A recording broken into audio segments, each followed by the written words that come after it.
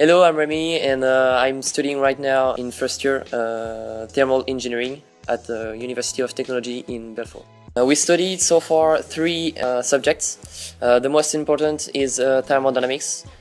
we use those knowledge in another subject called heating system technology, and we also learn electricity.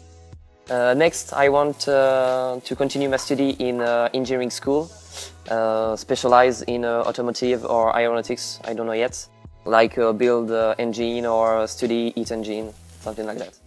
This course is a way to uh, enter next uh, engineering school and the aspect of practicing between learning theory is the best way to learn for me and that's why I choose this establishment.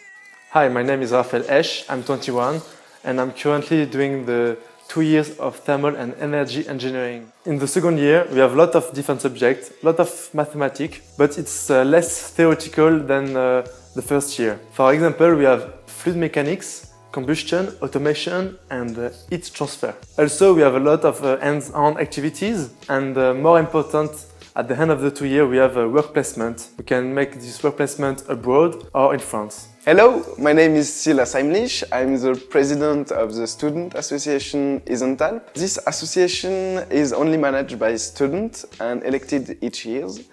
Uh, we try to organize activities for student lifestyle.